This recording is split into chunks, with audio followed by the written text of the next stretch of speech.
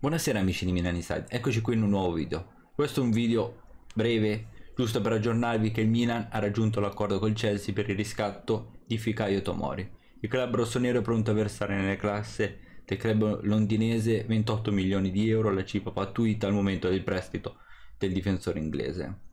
Un'operazione che fa felici tutti i tifosi rossoneri, finalmente il Milan avrà a disposizione per i prossimi anni un difensore forte difensore completo e un difensore che potrebbe dare quella stabilità difensiva al club che finalmente dopo anni e anni è tornato in Champions League. Vi invito a passare in descrizione dove troverete tutti i nostri social, ci aggiorneremo presto con altri video di calciomercato, sempre Forza Milan, un saluto.